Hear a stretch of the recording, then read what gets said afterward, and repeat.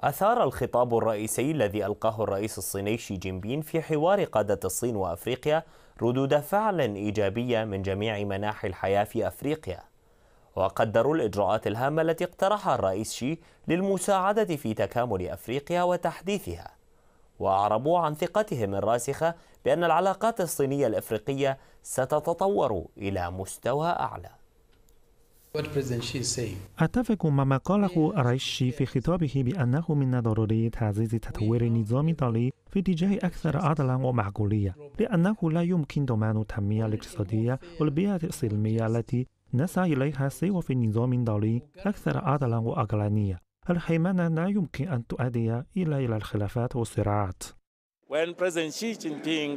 مجيء رئيس شي جين بين إلى جنوب إفريقيا هو دعم لنا. القادة الأفارقة والصينيون يحترمون بعضهم البعض.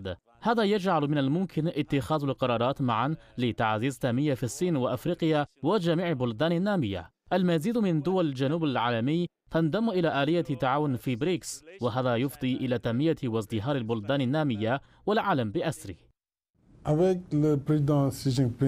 لدي صداقة عميقة جدا مع رئيس شي. لقد اجتمعنا مرات عديدة على الصعيدين الثنائي ومتعدد الأطراف على حد سواء. يشرفني جدا أن أتبادل الآراء مع الرئيس شي حول التعاون الصيني السنغالي والتعاون الصيني الأفريقي. الرئيس شي صديق لإفريقيا ويسعدني أن أرى المزيد من البلدان تقترب من مجموعة بريكس وهذا يعبر عن توقعاتهم. كما ستستمر آلية تعاون بريكس في التطور مع انضمام أعضاء جدد. نحن بحاجة إلى زخم جديد وحوكمة جديدة وهذا ما يعنيه الجميع لدعم بريكس.